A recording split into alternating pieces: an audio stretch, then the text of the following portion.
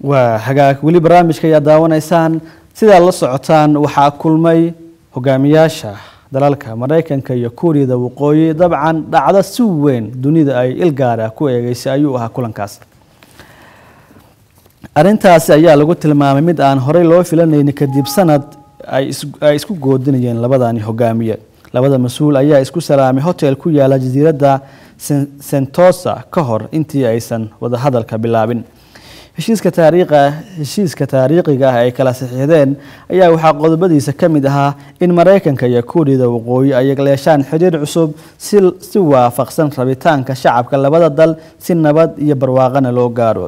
In maraykanka iyo kuuriyada waqooyi ay iska kaashadaan dadaalada nabad waarta loogu dhalinayo gacanka kuuriya si waafaqsan bayaankii bayunjom abril in kuuriyada waqooyi ay ka shaqeysaa sida gacanka looga dhigi lahaa mid ka caaga nuclear. In maraykanka iyo kuuriyada waqooyi inay iska kaashadaan baadigoobka maxaabiista dagaal ee aan war laga haynin iyo sidii si deg deg ah loogu soo wareejin lahaa kuwo la ogyahay ee hadda gacanta ugu jira kuuriyada waqooyi madaxweyne trump waxa uu sheegay in ay la soo sixidaan heshiis qurux badan oo dhammaystiran. Kim jong un waxa uu kulankii uu donald trump la yeeshay ku tilmaamay mid taariikhi ah wuxuuna xaqiijiyey inay donald trump isku raaceen inay xiraan colaada hadda ka dhexaysa labadaasi dal. Waa hagaag. Waryahayaga cabdulcasiis axmed barrow ayaa iminka isuudiyaha igula soo biiray oo qodobkan si gaara u hayay. Soo dhawo barrow. Aad ay waasan tahay idrus waa sidaad sheegtay aad baan u dhowahay waad mahadsan tahay waa mahadsan tahay dabcan kulankan wuxuu ah kulan si weyn. Ay dunida ilgaara ugu haysay. Dabcan waxaa la eegaya wax ka soo bixi kara inay ismaandhaafaan inay heshiyaan bal maxaa noo haysa adigu inta badan pyongyang iyo washington waayadii dambe waxaa jiray fariimahan jabaado hawada la isku marinayay tani waxay ka dambeeyey markii hogaamiyaha dhowr iyo toddobaatan jirka ah maraykanka uu la wareegay. Donald trump waxaa soo baxayay eedeynta iyo dhaleecinta u jeedinaya wadankaasi waqooyiga korea oo jim un hogaamiyo. Laakiin arinta xiisahale waxay ahayd markii maraykanku ay isku dayeen in ay weeraraan jasiirad lamoodii korea iyagoo markaasi gacan siinayay kooriyada kale. Dowladan ninkan dhalinyarada oo hogaamiyo ee pyongyang waxa ay muujisay dhaqdhaqaaqyo xoog leh inay sameeyo weliba dhoolatus dhinaca hubka nuclearka ayay soo bandhigeen waad la socotay saameyn fara badan ayay ku yeesheen wadamo dhowra oo gobolkaasi ku yaalla waxaa ka mid ahaa wadanka jaban shinzo abe ra'iisul wasaaraha wadankaasi isaga hore ayuu uga qayladhaamiyey xaaladda ka taagan. Laakiin waxyaabaha inta badan ee dhibaatooyinka iyo goodiska maraykanka marka uu sheegay in wadankaasi uu ku qaadi doono cunaqabateyna uu ku soo rogi doono waxay ahayd gacanta keliya oo ay ka aargoosan kareen inay ahayd mataanta kale ee kuuriyada ee wadankaasi odawadaagta ay yihiin muddo dheerna ay dagaalo u dhexeeyeen sidaad la socoto iyada dimuqraadi ah tanna ay shuuci tahay. Laakiin kulankan in badan bay warbaahinta dunida si weyn u saadaalinayeen. Waxaa ka soo bixi karay iyo waliba waxyaabaha laisla soo qaadi karay inta badan. Waxa laakiin aada loo filan karay dareenka iyo shucuurta labada nin ka imaan kartay. Kim jong un oo isaga ah nin dhalinyaro ah shuuci ah xerxeran inta badan aan qoslin dabeecado qosla aan lagu aqoon iyo madaxweynaha maraykanka donald trump oo isaga ah nin hadaladiisu ay cadcad yihiin. Inta badanna ka fikira danaha maraykanka meesha ay salka ku hayaan. Waxyaabaha isla soo hor fadhiisan doonaan. Waxyaabaha la saadaalinaya waxay ahayd markay isi salaamaan oo isgacan qaadaan talo maxaa dhici doona? Waxyaabaha la sawiranaya ugu badan ee dunida ay soo bandhigayeen taas bay ahayd. Laakiin wejiga weji ka duwan baa soo baxay. Markii hogaamiyaal fara badan oo caalamka ah ay meel isugu yimaadeen oo arintan la gorfeeyey. Deetana labadooda ay si gooniya sida warbixinta aad ku sheegtay hoteelku wada fariisteen. Waxaa muuqanayay wixii la sawiranayay wax ka bedelan in labadan isla soo hor fadhiisteen. Laakiin waxaa la isweydiin karaa oo xiisaale waxay tahay qodobadan lagu heshiiyey talo maxaa ka dhaqan geli kara? Labada dhinacna suuragal ma tahay inay meel mariyaan. Iyadoo la ogyahay weliba madaxweyne trump heshiisyo hore u galay kii cimilada adduunka ee faransa ka dhacay oo kale iyo arrimo fara badan oo wadamadiisa heshiis hore ula galeen wadamo kale. Inuu sheegay inuu ka baxay canshuuraadkiibaa ugu dambeysa canada iyo wadamo reer yuruba uu dhahayay. Waan ku adkeynayna canshuuraadka laakiin madaxweynihii ka horeeyay isaga barack obama arrimahaas aanu soo hadal qaadin. Trump waa uu fudud yahay baa la leeyahay kim jong unna waa nin tallaabaqaadkiisa ee kolley fududahay laba hogaamiye oo fudfudud laba wadan oo quwado xoog lana kala hogaaminaya heshiisyo ay wada galeen sidee baa loo dhaqangelin doonaa? Trumpna ma ku il qaadan doonaa ninkan awoodda leh mise sidii hore ballamada uga baxay uga bixi doonaa? Tan la isweydiinaya waa taasi maxay kula tahay adiga? N runtii marka la eego war horta waxaa la yidhi nin qoyan biyo iskama dhowr. Micnaha taa ula jeeda waxay tahay trump inta badan waddamada uu heshiisyada uga baxay. Waxay ahayd wadamo marka uu fiiriyo uu lahaa danta maraykanka baa ku xiran in tallaabo aanay ka qaadi karin wadankiisa ama aysan ka hor imaan karin. Tusaale waxaa kuugu filan faransiiska oo kale. Xulufo waxay yihiin maraykanka waad la socotay dagaaladii ciraaq lagu qaaday oo kale. Kii weerarkii. kii syria oo kale. Inta badan eh, garab bay u hayeen waa ay la socdeen. Laakiin markaa u imaato waqooyiga kuuriya waa budo gooni u tuman. Taas micnaheedu waxay noqon karaysaa ninkan aabihii eh, kim jong un wuxuu ahaa hogaamiye shiiciya oo shuuciya oo ad adag islamarkaana tallaabada iyo go'aanada uu qaato fulin karay waad la socotay toddobaatan sano ka hor dagaaladii labada kuuriya u dhexeeyay waxyaabihii ka dhacay iyo xaaladda meeshii ay joogto haddana dadkan iyagoo cunaqabateyn ay saaran yihiin waad la socotay warbixinadii iyo ayadii dambe ay deynayeen En markaad aragto dukaamada waaweyn iyo baqaarada waaweyn ee wadanka waqooyiga kuuriya waxaa ku yar burka oo ah waxyaabaha ugu badan ay dadku quutaan. Nolosha aada bay u liidata laakiin haddana waa dad eh, qab isla lahaa oo aaminsanaa in iyaga keliya ay noolaan karaan haddii ay si iskula jeedaan tan oo muujinaysa midnimo.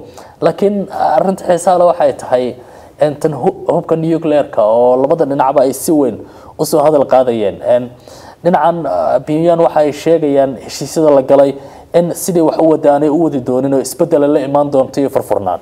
Labada wadan iyo labada shacabna ay noqon doonaan kuwo isu soo dhawaado xiriir saaxiibtinimona qaata.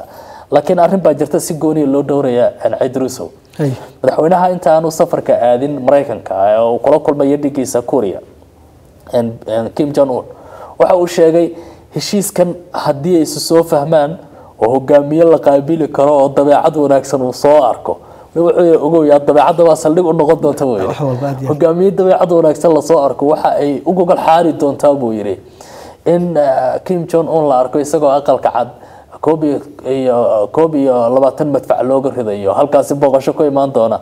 Rasmiya weliba donald trump uu marti qaaday. Laakiin hadda waxaa la isweydiinaya haddii uu ku noqdo aqalkii caddaa ee trump ma dhihi doonaa booqashadii way dhacaysaa waan invite garayn doonaa ama waan xasuumi doonaa wuu noo imaanaya wayna wada hadli doonaa taas baa la isweydiinaya talo ma dhici doonta qudheeda aada iyo aad. Waa waa arrin meesha ku jirta. Eh, cabdicasiisow sidaan la soconno ninkan hogaamiya kuuriyada waqooyi talada wuxuu la wareegay koob iyo tobankii. Siyaasadiisa arrimaha dibadda ma deganayn. Eh, si gaara loo eegayey dabcan koob iyo tobanka iyo siddeed iyo tobanka waqti badan baa u dhexeeya wuxuu soo galay laba safar waa kan singapore uu ku yimid iyo mid waa dhoweed uu tareen ku baxay oo tegay china bal siyaasadda arrimaha dibadda kuuriyada waqooyi maxay kula muuqataa siyaasadda arrimaha dibadda kuuriyada waqooyi kolley hadda kadib baa la sawiri doonaa ninkan talada wadanka wuxuu la wareegay xilli xasarada ay jireen En dhibaatooyin fara badan iyo caqabado adagna wadankiisa uu wajahaya runtii waxaa la socotay jaban iyo isagu dabka may kala qaadan jireen kuuriyada koonfureed iyagana ismay salaami jireen shacabkii labada kuuriya waa kuwii kala xaraa. Waxyaabaha ugu badan ee la leeyahay dhaqdhaqaaq iyo naruuro bay ku lahayd wadankaasi waxay ahayd gacan saarka hoose weliba aan qayaxnayn ay la lahaayeen wadanka china ayaa muuqanaya. Laakiin hadda waxaa la leeyahay waa cusub baa baryi doona. Laakiin waxaa xasuus leh toddobaatan ilaa iyo siddeetan sano ka hor nacayb la beerayay oo loo qabay maraykanka iyo hogaamiyaashooda loo qabay jabaan iyo dadkooda loo qabay kuuriyada koonfureed iyo weliba eh, shacabkooda. Haddana haddii la yidhahdo shacabka reer kuuriya eh, weliba reer kuuriyada waqooyi ee pyongyang. Waxaa sameynaysaan isfurfur ballaaran dadkii baad la shaqeynaysaan isdhexgal baa iman doona. Ma suuragelaysaa baad is leedahay. Waa waa arrin u baahan in loo sameeyo en, orientation ama sheekooyin cusub oo dadka lagu dhaqan celinayo ama loogu sheegayo in la wada noolaan karo shacab u diyaarsanaa dagaal la socotaa toddobaatan boqolkiiba dadkaasi waa dad howlahooda ugu badan ay qabtaan ay yihiin inay ciidamada u shaqo tagaan. Laakiin waxaan rabaa booqashadiina dib uga soo laabto. Waxyaabaha ugu waaweyn oo hadda intii sheekadan barnaamijka inta ayna soo gelin ka horan wargeysyada firfiirinayay waxaa yaab lahaa in kim jong un xitaa suulidii uu isticmaali lahaa uu la dega wadankaasi singapore uu leeyahay xitaa inaga waxba halkan uguma tagan doonee waxaana wadankeena ku xeshan doonaa waa sheeko cajiiba ugu badan oo la qorayo oo dadku ay soo qaada- qaadayaan bay ka mid tahay. Laakiin hadda way isfurfuraysaa wadankaasi isbeddel baa muuqanaya. Tani wixii ka dambeeyey markii ninkan c i ada maraykanka u weyn uu wadankaasi gaaray. Laakiin isweydiinta ugu badan ee hadda shacabku isweydiinayaan waxay tahay talow. Trumpna hadal buu heshiis buu saxiixay. Kim jong unna heshiis buu saxiixay waa hogaamiye dhowr iyo labaatan jir waxaan u malaynaya siddeed iyo labaatan sano. Toddoba iyo labaatan sano in warbaahinta ay qorayeen. Hogaamiyaha ugu yara caalamka. Ugu yar caalamka si loo eego. Trumpna waa dhowr iyo toddobaatan sano. Sida sidaan ku arkayay. Heshiiska saaka la galay daada xagga ay kala jirto. Haddana hal tallaabo bay isku waafaqsan yihiin trump waa uu fudud yahay heshiisa u galo si uu ku buriyo kim jong unna waxaa la leeyahay waa uu fudud yahay qof uu la heshiiye haddana inuu beri u gacan qaado. Marka waxaa suuragal baa la leeyahay labadaba inay buri karaan. Dhinaca kalena waxaa suuragal noqon kara baa la leeyahay maraykanka oo bodiqawiskii ay waday washington iyo baalxoofteyntii dhinaca nuclearka oo pyongyang ay watay intanay soo afmeeri doonto haddii si dhaba loo dhaqangeliyo. Laakiin labada dhinac waxaa muuqanaya la taliyaal inay leeyihiin. Si ayada ninkii weynaa waa kii xaggaa tagayay pyongyang oo lagu arkay.